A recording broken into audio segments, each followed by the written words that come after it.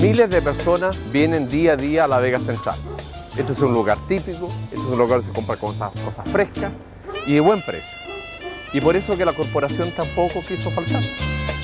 El servicio que se presta en estos puntos móviles es completo, no solamente orientación e información, sino también servicio de representación judicial. Es decir, todas las personas que requieran presentar una demanda en tribunales, aquí les hacemos, le confeccionamos la demanda para que nosotros después posteriormente presentemos la demanda en tribunales y podamos hacer el seguimiento vía telefónica o vía presencial con el centro que quede más cercano a su domicilio.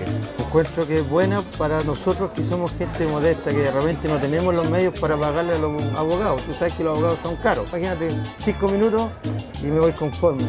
Sé lo que tengo que hacer cuáles son los procedimientos que tengo que hacer, yo encuentro que estuvo bien la iniciativa que está haciendo el gobierno. Es un servicio altamente demandado, bueno y a buen precio, porque no se paga.